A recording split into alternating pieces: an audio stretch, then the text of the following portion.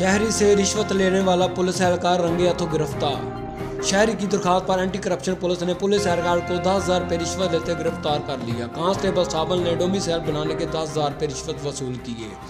Shekau پورا anti corruption کی بڑی کاروائی شہری کی درخواست پر پولیس اینٹی کرپشن نے پولیس کانسٹیبل کو رشوت لیتے ہوئے گرفتار کر لیا۔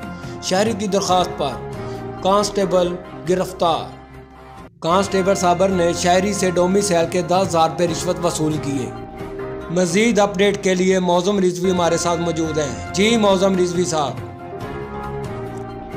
جی بالکل اینٹی کرپشن شیخوپورہ کی کاروائی جو ہے بڑی ایک کاروائی ہے۔